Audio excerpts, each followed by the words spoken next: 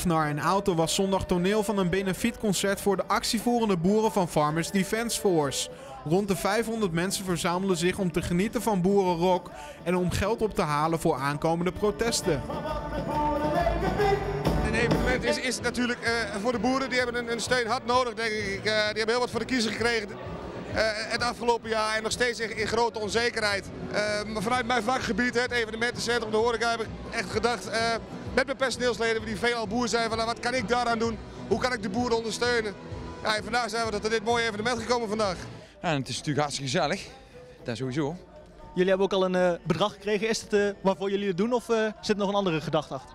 Nee, het gaat erover dat we samen in eenheid smeden. En, eh, en het, gaat, eh, het gaat niet over het geld, het is gewoon meer eh, symbolisch. En dat is van hun uit ook natuurlijk. Waarom eh, steunen jullie de Farmers Defence Force? Eigenlijk heel simpel, het actie voeren.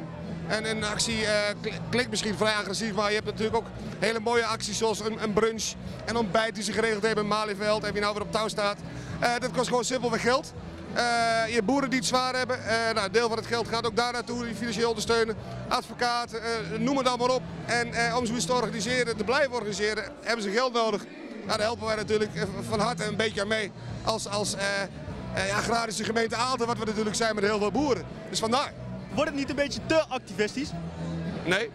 Het kan altijd erger. Weet je, je moet laten zien dat je er bent. En, en als ik namens de boeren mag spreken, überhaupt. ehm, weet je, je hebt aangezegd en dat is namelijk eh, eh, je verzamelen, eh, je organiseren en laten zien dat je het er niet mee eens bent. Dan moet je daar wel mee doorgaan. En dat hoeft niet op die massale manier. En dat hoeft niet, eh, al helemaal niet op een agressieve manier. Eh, maar je mag wel laten zien, maar even, eh, wij stoppen pas als, als wij ook resultaat hebben. Wat eh, moet er nog veranderen voordat alle acties stoppen, alle protesten stoppen?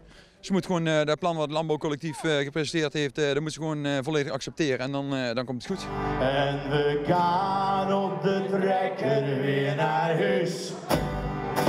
En we gaan op de trekker guys.